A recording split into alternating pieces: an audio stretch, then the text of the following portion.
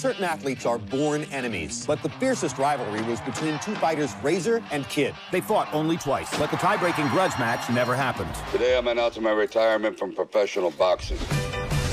I got a company that wants the official rematch. They're gonna pay you a hundred grand. Well, I can't be in the same room as that guy. Not worth it. The hell you mean it ain't worth it? I'm looking at your house.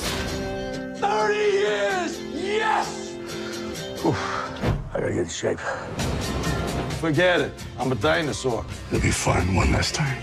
I'm your trainer, Mikey. You can't be my trainer. Maybe I believe you ate my trainer. Time to train.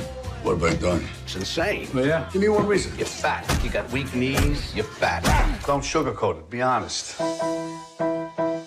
If one of you gets knocked out, is it safe to say you've fallen and you can't get up?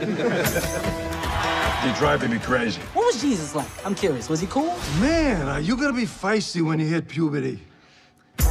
Come on. This is our last chance. Let's finish this once and for all. The whole world's laughing at us, but we're not dead. In fact, I feel more alive now than I ever felt.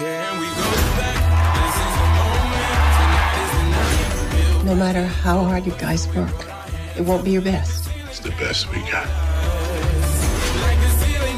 Gutsy move going without a bra. I took a dump on your porch. We are live, guys. We are alive right now.